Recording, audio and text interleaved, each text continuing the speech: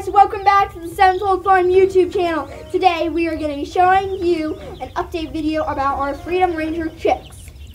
So as you can see, if you have watched the last video that we did about them, you they have grown quite a bit.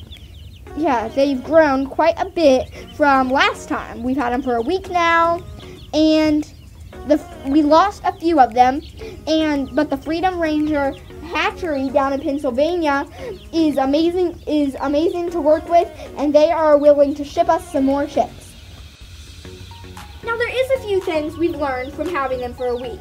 What we need to do and what type of things we need to do when. Okay, so as soon as we take them out of the box, we're gonna want to start giving them electrolytes.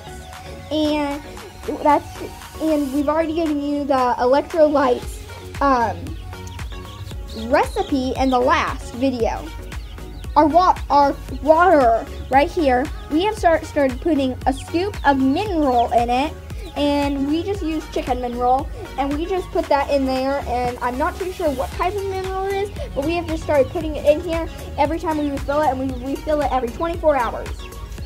We have their two heat lamps right here. And they will qu start quieting down once they are warm enough. These guys are quieted down from what they have been before. Guys, don't forget to subscribe below and have an amazingly blessed day. Bye.